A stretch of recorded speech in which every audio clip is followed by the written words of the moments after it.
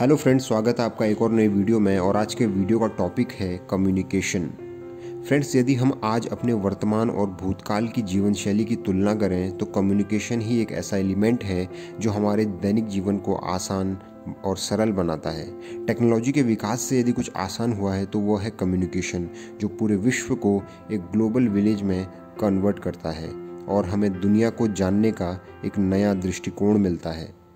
Friends communication word basically Latin word communist से मिलकर बना है, जिसका अर्थ है sharing sending and receiving of any information friends सरल भाषा में कम्युनिकेशन दो या दो से अधिक लोगों के बीच किसी आइडिया का एक्सचेंज है। यह मूल रूप से एक कंटिन्यूस प्रोसेस है। इंटरनेट के रिवॉल्यूशन ने पिछले कुछ दशकों से कम्युनिकेशन को काफ़ी आसान बना दिया है।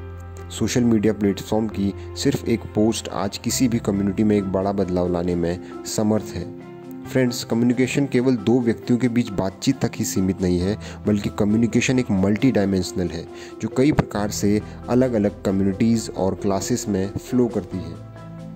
उदाहरण के लिए टीवी पर आने वाले एडवर्टाइजमेंट और मूवीज़ भी कम्युनिकेशन का ही एक आयाम है, जो नए आइडियाज़ और परसेप्शंस को लोगों तक पहुँचाने का काम करती है।